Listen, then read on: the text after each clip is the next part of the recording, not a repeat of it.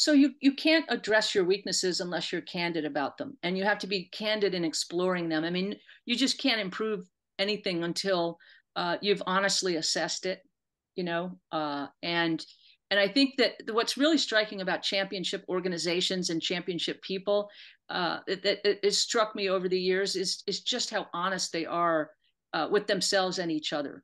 Uh, there's no um, you know there's this phrase locker room talk locker room talk that I've been around, um, you know, it's mistaken for crudity and stuff. There's a real emotional honesty at work. Uh, Pat Summitt told me once that um, there's a language that teams speak when they're getting ready to win the big one. You know, she could feel it in her locker room. And I said, well, you know, what does that sound like? Um, and it sounded like emotional honesty.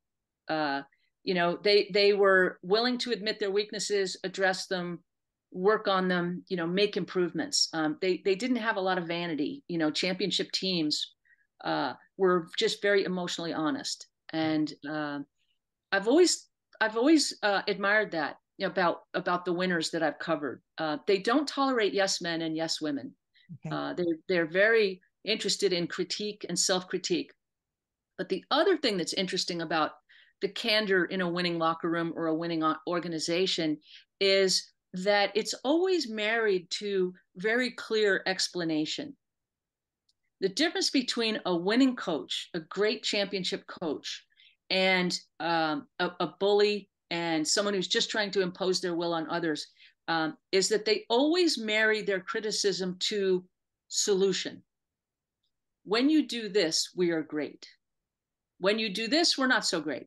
But when you do this, when we do it this way, you're great. So they don't just criticize you have to play better. You know, like I, you know, a good editor doesn't tell me you have to write better.